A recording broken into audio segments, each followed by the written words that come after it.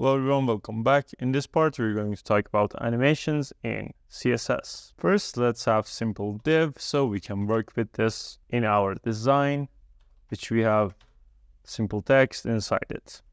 Then here we're gonna select our div and let's give this a background of violet, for example, and have some padding around it and make the display of that inline block and we can have some border radius around this.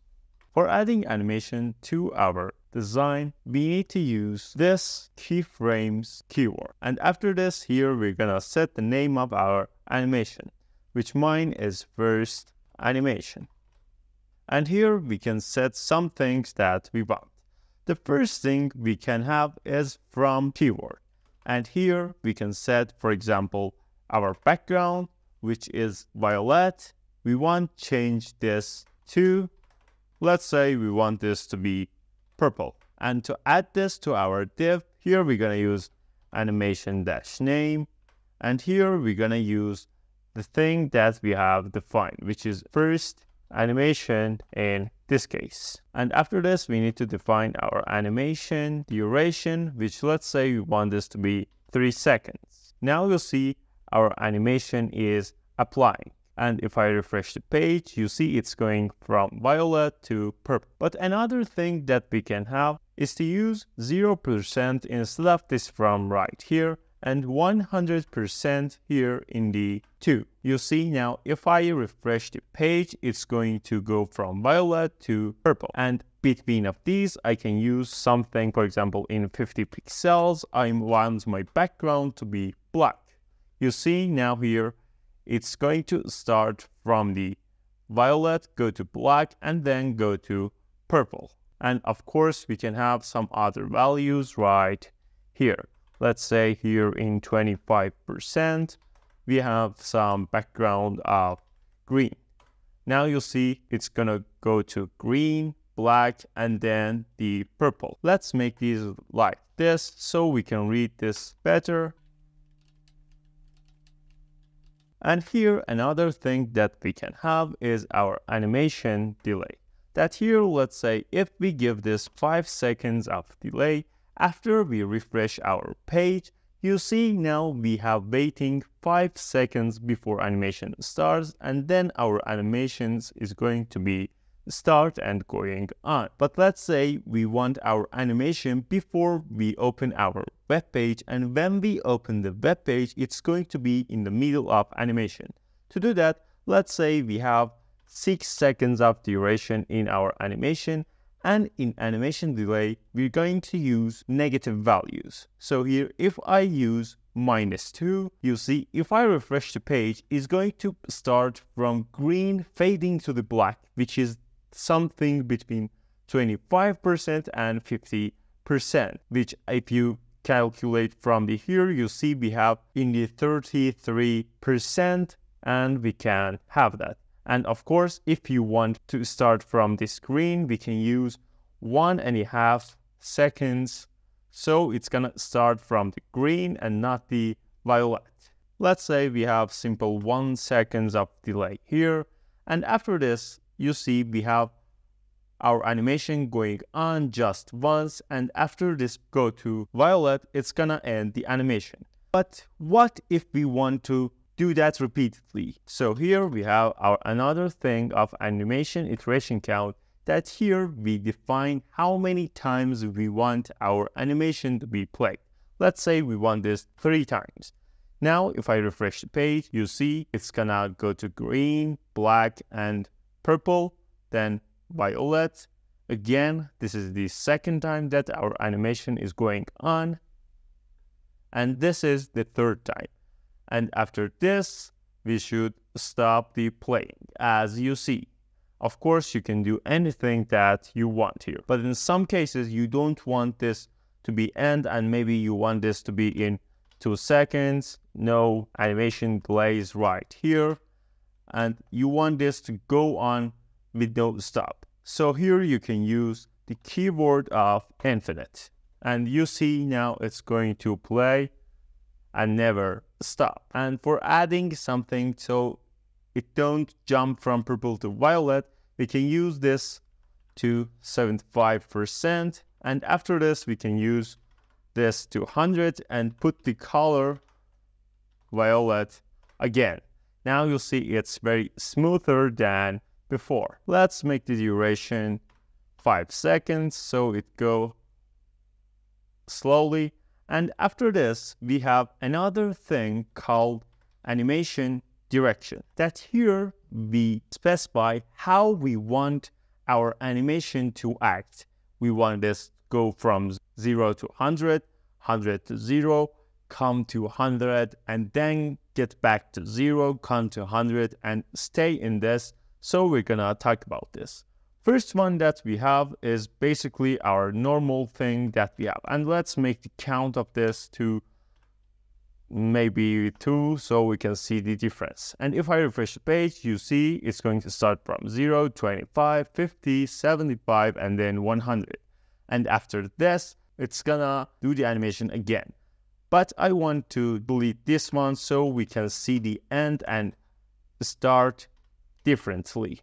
Violet, green, black, and purple again. Another thing that we have is reverse direction. That you see here, it starts from 100, goes to black, goes to green, then violet, again black, green, and then violet. After this, we have our alternate one, which as you see, it's going to come from 0, 25, 50, then 100. And after this, it's going to come back to the 50%, come back to the 25, and then 0 again. So it's going to start from 0 to the finish, and from finish to the 0 after that.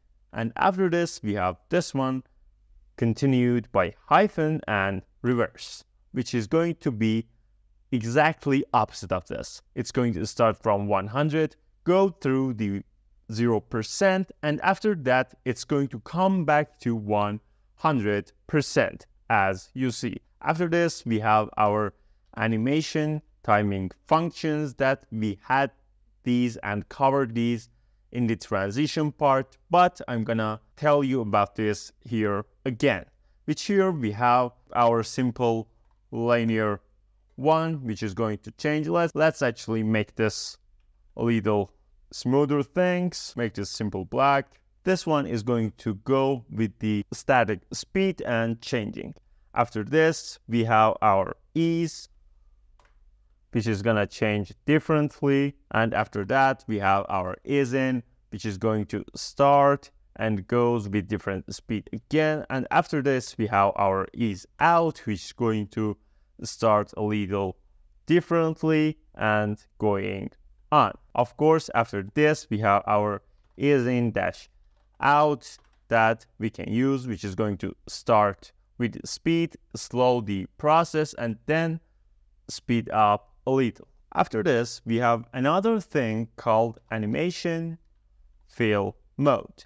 And here we can define four things. First one is the none that we can have and you saw.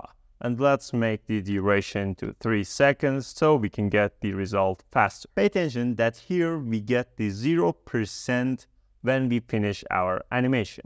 But after this, we have forward keyword that we can use here. That you see after we run our animation, which is two times here, we got the black and the last one applied. Now let's make the direction of our animation to normal. And here you can see we come from violet and go to black and let's make the count to the one so it be more faster. Yeah, this is good.